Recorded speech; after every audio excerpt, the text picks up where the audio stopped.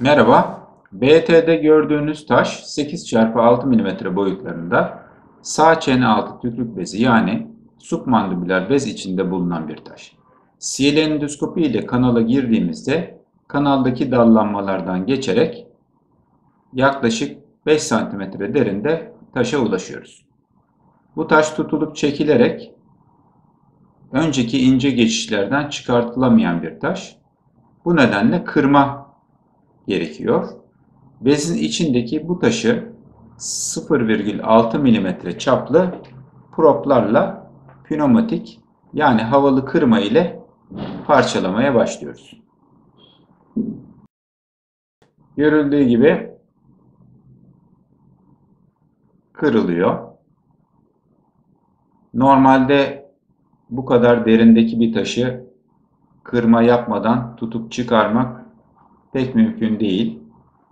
Önceki dallanmalarda, darlıklarda taş takılıyor. Zorladığınız zaman beze zarar verebilir. Bu nedenle kırıyoruz.